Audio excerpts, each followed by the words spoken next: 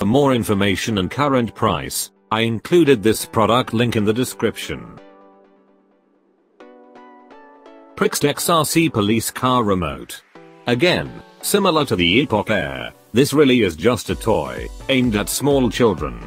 The fact that the siren wails about as loud as a genuine police car makes for great fun for the kids, not so much for their parents. Thankfully, the sound can be switched on or off from the remote control.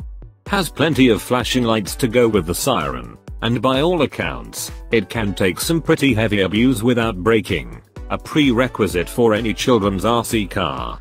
For me, of course I'd pick the crazy fast X01, but only if I had the room to use it, it's not going to be something that you could max out in your yard, and even then, with plenty of room, I'd be very wary about driving it hard if there were people around, hit someone at 100 miles per hour, and you're facing legal action.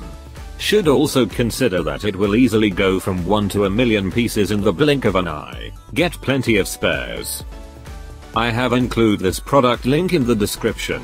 You can check out that link for more details and latest price. Thank you so much for watching. Please subscribe my channel, share this video and don't forget to hit the like button.